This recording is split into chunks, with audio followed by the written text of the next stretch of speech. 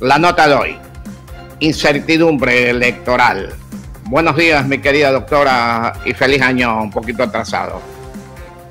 Eh, gracias, Vicente, lo propio para usted, pero permítame expresarle que lamento infinitamente el deceso del ingeniero Jorge Francisco Soria Villasís, su cuñado, mis sentidas condolencias a todos sus familiares y de manera muy, muy especial a doña Alicia y a usted, mi querido Vicente.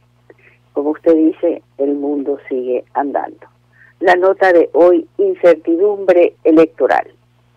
El 31 de diciembre pasado comenzó la campaña para la elección de presidente y vicepresidente de la República, asambleístas y parlamentarios andinos en una era bastante complicada, debido principalmente a la pandemia del coronavirus que afecta a todos y su incidencia en la forma de hacer la publicidad de los candidatos, limitada por las medidas de bioseguridad que se debe respetar.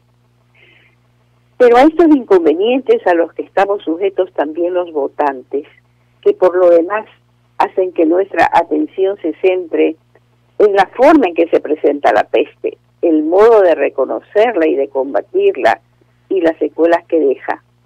La aflicción que nos produce conocer que uno de nuestros prójimos se encuentra afectado con ella o que se lo llevó al más allá. La eficacia o no de las vacunas, los nuevos descubrimientos acerca del origen y evolución del virus, más las restricciones a las que nos somete debemos agregarles otros que tienen que ver con la contienda electoral misma, provocados por los impases de las autoridades en la manera de resolver los conflictos que se les presentan casi a diario en el proceso. Así, un juez del Tribunal de lo Contencioso Electoral estableció que cuatro de los miembros del Consejo Nacional Electoral incumplen de manera tajante y beligerantes sus funciones y desacatan sus disposiciones y las contenidas en la ley orgánica electoral, copio textualmente, por lo que solicita su destitución, entre otras sanciones. Lo narrado hace que, a pocas semanas de dar ese paso tan trascendental para expresar nuestra voluntad en las urnas y decidir bien o mal sobre nuestro destino, nos citamos como pisando sobre gelatina e incluso dudemos sobre si se cumplirá o no con el preestablecido calendario electoral.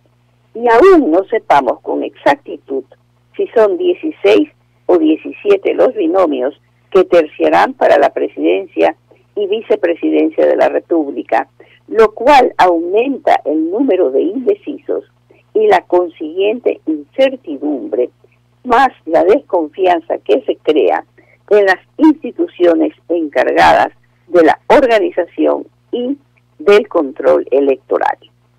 Pero no solo es eso, sino que son tantos los que se quieren sacrificar, entre comillas, que poco o nada sabemos sobre ellos. Lo que nos hace ver con cierto pesimismo los resultados de las elecciones. Por otro lado, son tantos también los aspirantes asambleístas, muchos totalmente desconocidos, que no tenemos tiempo para investigar sobre sus antecedentes a fin de saber si están aptos o no para representarnos en el legislativo. No hablemos de los parlamentarios andinos. Por si fuera poco, son tan abundantes los maravillosos planes que escuchamos de los que quieren llegar a Carondelet, que se nos hace difícil distinguir entre unos y otros para marcar los nombres en las papeletas. Siendo así, lo importante es que sepamos discernir entre lo realizable de lo solo imaginable, que no nos llenen de pamplinas la cabeza y que nos digan cómo van a llevar a cabo tanto prodigio. Es muy fácil prometer y luego mandar a buscar quién lo ve. Debemos conocer más a fondo el perfil del candidato, su pasado, su formación, su psiquis y de quiénes está rodeado, porque nadie puede hablar de honradez y de manos limpias si los que están a su lado nos parecen provenientes de las alcantarillas. Es absolutamente indispensable que mucho antes del día del sufragio nos pongamos a meditar sobre las personas a quienes vamos a elegir como nuestros mandatarios con entera responsabilidad, porque de ello depende no solo nuestra vida y nuestro futuro, que se adivina muy complicado, sino el de nuestros descendientes. Es indiscutible que esta incertidumbre que emana desde los propios organismos a los que corresponde organizar y vigilar el proceso electoral debe terminar pronto para que en paz y con certeza sepamos lo que vamos a hacer el 7 de febrero próximo. Muchas gracias.